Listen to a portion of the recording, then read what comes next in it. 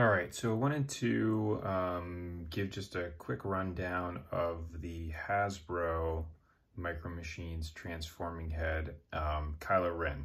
So this is a prototype. Um, this never actually went to market, but there was a box that was created as well as a figure and a ship that went with it. Um, for whatever whatever reason, they didn't end up bringing it to market, but uh, fortunately, um, there was somebody that was able to grab a couple of them and was able to get um, one from them. So this came with, um, just like the other versions of the Micro Machines Hasbro release, it comes with one ship and a figure. So the figure is the only one that's actually uh, with this one. So the ship is just a regular first order TIE fighter. Um, now, the figure here, uh, again, this is a prototype figure of Rey holding a blaster. This is actually uh, pretty good in terms of the quality of detail for the figure. The other figures that were released just in the mass-produced uh, First Order Stormtrooper head and the R2-D2 uh, really have a lot to be desired in terms of the figure and the quality of it. Now, with the TIE Fighter, um, the First Order TIE Fighter has just some burn marks on the side of it. Um, again, it's kind of like Rey is shooting the TIE Fighter. Um, that's at least what the box shows. But this is just a regular Micro Machines TIE Fighter. It fits in the playset uh, just normal. So let's go ahead and walk through um, the outside of this. So lots of great detail. You know, when I first was looking at this, I was thinking, man, it's got a lot of scuffs and stuff on it, but it actually isn't scuffs. It's just the way it's designed. So there's some damage on here, obviously around the eyes, just like uh, Kylo Ren has. There's some great detail in the um, cloth work down here. This is all a hard plastic, but it looks really nice and detailed. Um, and here is the side of it. So relatively thin um, front to back. And then there's a little push button there on the top to open it, which we'll do in a second. And then here is the back. So uh, a couple different things that you can do back here with uh, what we'll see in a second. Um, and here is the bottom. So now let's go ahead and open this up. So to open it, just push the button on the top. It goes ahead and releases the um, little hook there, and then it opens.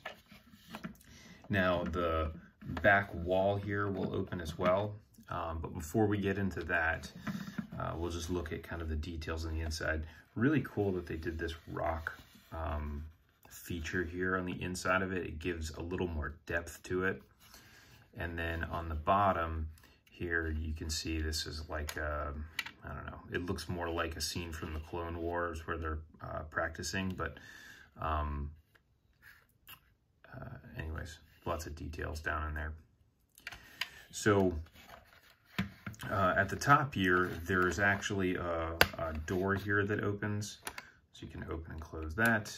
And then this whole platform ends up going out. So you know, again, you could do like a battle in the background and then this gun back here will actually twist. See that. And I believe that there is, uh, there were stickers that were supposed to come with this as well. And I would imagine a sticker would go on that door. And then over here on the right side, you have a little elevator, which um, there is a little slider here in the back. You can kind of see there through the um, through the middle of it. And it, um, it does lock up into place there at the top. And then on the inside here, there is a, a little trap door that opens to be able to go out the back. So you can see there, you can kind of slide down that way. Um, and this definitely has a sticker on it. You can see it on some of the production pictures of the box. Uh, some type of a red um, graphic, don't really know. But then you've got the detail of the floors here, and then um, down here on the bottom, this little hatch opens. So you put something in there. And then um, this is really the one of the other moving features. um, just like on all the other play sets, it's got this little arm here where you can put the TIE Fighter on. So you can pull this out.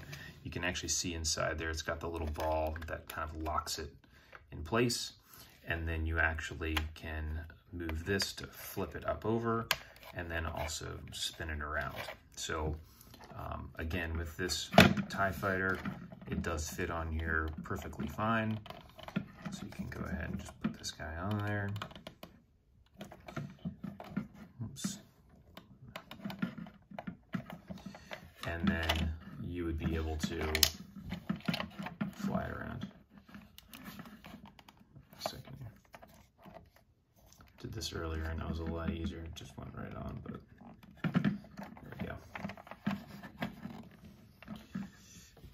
On that all the way out. So now I can fly around in a circle. And again, it shows in the pictures that Rey is shooting it. So Rey would be standing up here and then be able to flip the TIE Fighter over like that. And that's basically it. Um, there's not a whole lot else to this uh, playset. So kind of similar to the other Hasbro releases, the ones that they did actually release, there's very few features to it.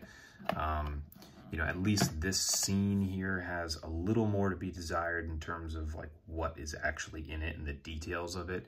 The other scenes are just some barren landscapes and to be perfectly honest, they're just not very good. So um, either way, that's your um, prototype Kylo Ren head. Uh, everything does fit inside of the head, which is nice, um, just like all of the other ones that have been made. So uh, if you have any questions or comments, feel free to leave them below.